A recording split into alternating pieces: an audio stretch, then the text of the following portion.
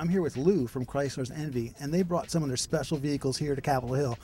This little baby, it's fast. It's really, really fast. I just went for a ride, and uh, I got uh, pinned back in my seat pretty, pretty well.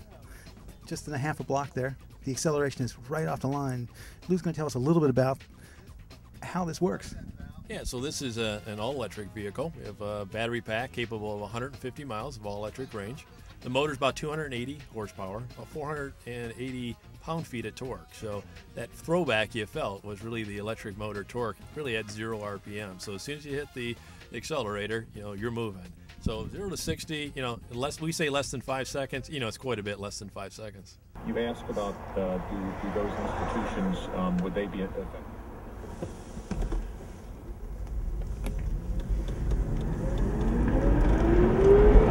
about half the throttle. It's pretty good. That's it. We can pick up and give.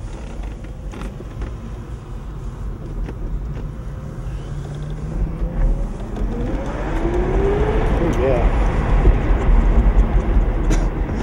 Very nice. I, I could feel it. It was right off the line, instantly, like you're like you're flipping a switch.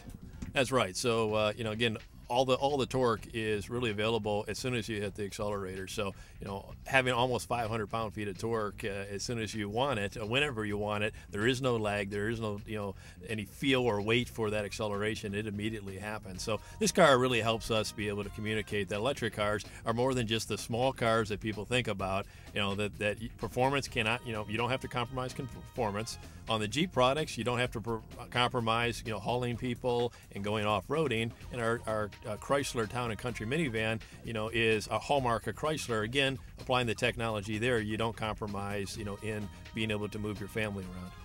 So this technology works today. It's not pie in the sky. These aren't production vehicles, but they pulled these together in a fairly short time frame. You, can you speak to that a little Yeah, bit? so we, we actually been working on the technology for about three years, and what you're seeing here is development over the last couple.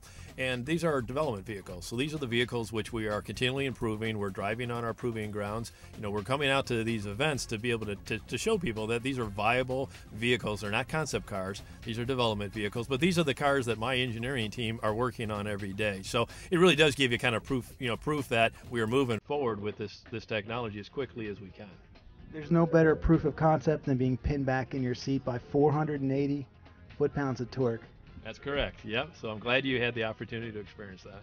Thank you very much, Lou. Thank you.